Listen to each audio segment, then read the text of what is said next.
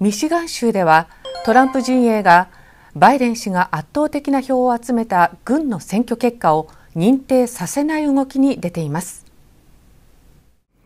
ミシガン州最大の都市デトロイトを有するウェイン郡では選挙管理委員が共和党委員2人民主党委員2人で構成されています。17日火曜日軍の選挙結果の認定にあたり票に問題があるとして2人の共和党委員が反対し、認定できない状況になりましたが、その後2人は結果に同意し認定しました。しかし、18日水曜日、その共和党委員2人が圧力をかけられたなどの理由で、認定に投じた票の撤回を求める宣誓供述書を提出しました。後にトランプ大統領から17日夜、ねぎらいの電話があったと共和党委員の一人は明らかにしています。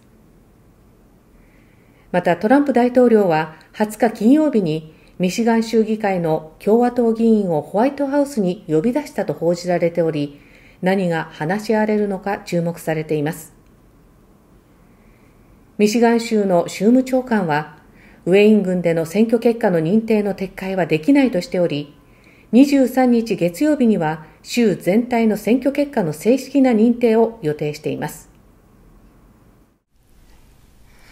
選挙後の11月半ばに行われたロイター通信による最新の世論調査では全体の73%の人がバイデン氏が勝利したと答えていて